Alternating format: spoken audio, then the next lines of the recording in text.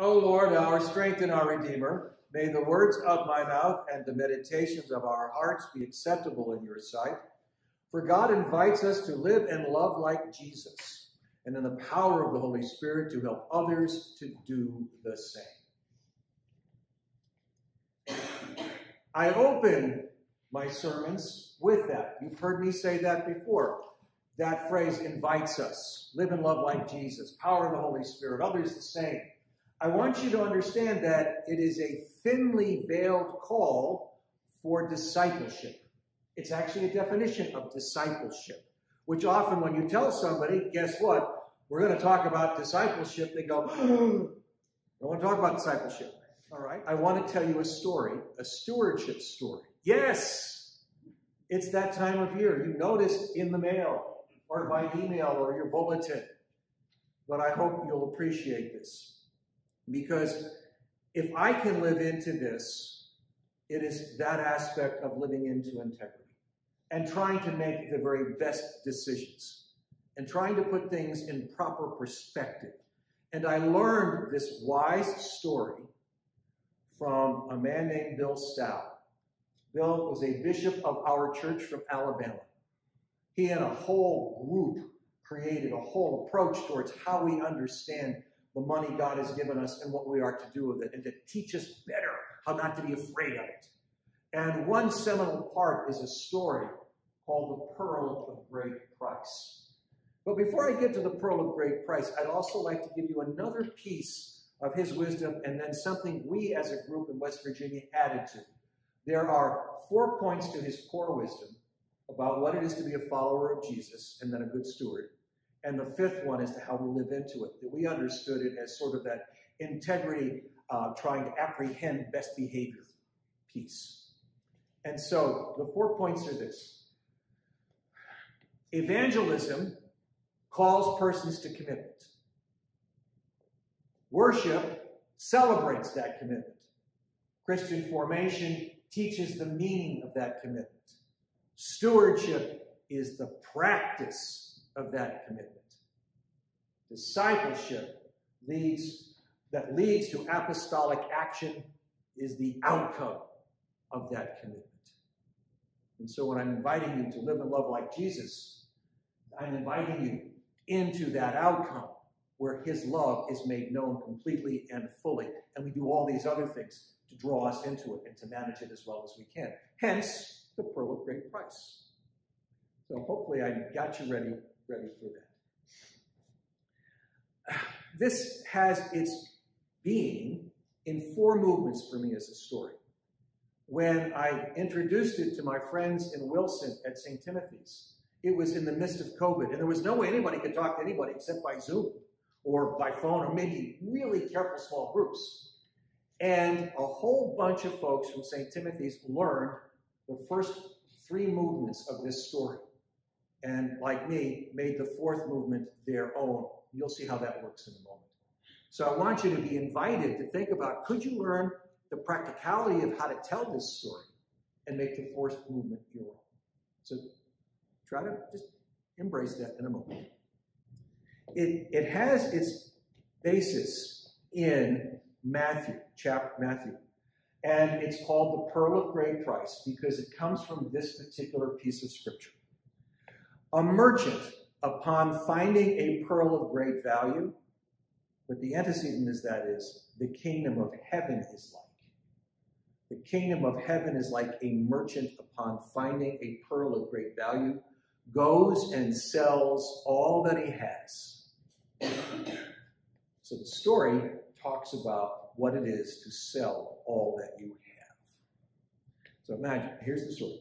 I got to have a couple of characters in the first movement. So I've got the merchant, I've got a field. There's a pearl in the field, and I'm going to imbue the pearl with Jesus. That's like the love of God we have found in Jesus Christ. I'm just keep calling that Jesus. I have found Jesus. That's a great expression. I found Jesus. He wasn't really lost, but, but I found him. That, that old joke. And now the other character is if if I would like to acquire this field, I'd like to acquire this pearl, don't I need to find somebody that I can buy it from? So let's let's let's make that God for the purposes of our limited brains to try to figure this out. So we have that. And so somehow you have, me, the seller, I've come, you, let's pretend it's you. You've come upon the field and you find the pearl and you find that it's Jesus and you really want it more than anything you have ever wanted in your entire life. The complete, the fullness, the richness of all that God has to offer, building upon shalom. This is in the pearl, and beyond that, you are fine. You just you have just been overwhelmed, and you want it, and you would like to acquire that. And you find the seller, and you say to the seller, "What will it take for me to buy the pearl? What will it mean to get Jesus?" And the seller says, "Well, it's very simple. Um, give me all that you have. Sell all that you have. Give me all that you have. Now, if you're like most people, what do you do? Give me all that you have, all that I have, all that I, all that I have on me. Yes, here, take my wallet. Take my wallet. Take my wallet. And and so they said, well, that's very good, but that's not what I asked for. You you look like you're going to need a little help in figuring this out. So now comes this rigorous inventory of all that you have. So one of the first questions is, um, hey, tell me, you have a house? You have a house. Oh, how wonderful. Are there bedrooms in the house? With beds and sheets and things? Uh, is there a kitchen? Is there a kitchen in the house with like food in the refrigerator? And uh, is there a garage with cars in it? Wow, I get all of that. And you go, Jesus. Yes, take it. And the inventory continues. Um, do you um, do you have a, a, vacation home somewhere? Yeah, you give that up. How about some investments in stocks and bonds and things? And well, you really want this love, this Jesus. You you can't. Yes, you're willing. Give it up. Take it, please. But the inventory's not done. How could the inventory not be done? Well, another piece of the inventory is tell me, uh, you have a spouse, don't you? Yes. Well, you take the spouse, stop smiling. And, and for the younger people here, I got to be careful with the next one. You have children, uh, teenagers, yes. Werner at 8 o'clock gave me a nice look. Okay, so yes, teenagers, you take it all. But the thing is, by the time you're done, you believe that you have made the best deal you have ever made because you have found and received this complete and fullness in a way you never understood before this love in Jesus Christ, this pearl of great price. And you start to walk away as happy as you've ever been, almost floating a little bit like Snoopy, using this flutter thing. And as you get a little bit away, you hear the voice. and it's the seller, and the seller, and, and the seller says, hey, just a moment. Now, what's your first human reaction? Oh, it was too good to be true. We all know how this is going to work out. There's going to be something. And the seller says, okay, tell you what, right now, all the stuff that you gave me, the house, the kitchen with the food, the bedrooms, the beds, the cars, mountain, you know, investments, money, children, wife, spouse, it's more than I can handle right now. So why don't you just have it here? So giving it back to you, sir. And you go, wow, this is a good deal. I've got the love of Jesus, the pearl of great price, and all my stuff back. It's like nothing changed. It couldn't be a better deal than ever. Really, You really are floating a little bit more now. And guess what happens?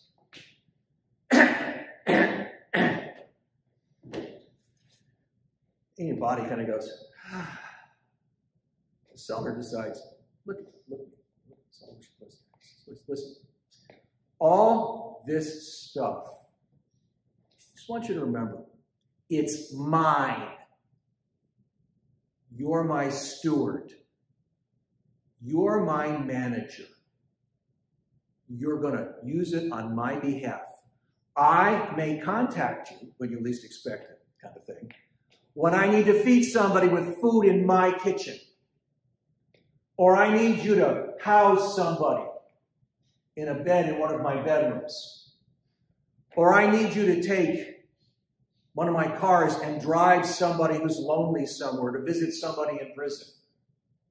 You can see how this echoes the scripture, Matthew 25 and follow, 31 and following, when we see you hungry and naked, etc. I may ask you for my money to be used a certain way. You're my steward. Now, that's taken us through the three movements. We now have an opportunity to look at our money as really not ours. We're responsible to God for how we do each and everything we have.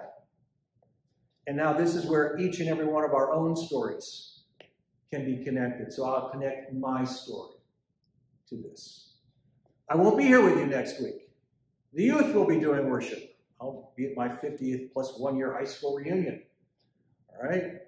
Um, but the gospel that you have next week has my story in it. It's one of the passages about the rich young ruler. It's, it's, it's the one who knew an awful lot of stuff when he came before Jesus. Basically, Master, what must I do to inherit eternal life? What must I do to follow you? And Jesus basically says, Tell me what you know. Like all the rules and stuff. And he lists them right off. Boy, I, I relate to that one. I could get into that. I could list all of that stuff off. And then, and Jesus says, You're great. You know lots of stuff. This is wonderful. I'm so glad. However, there's one thing you got to do.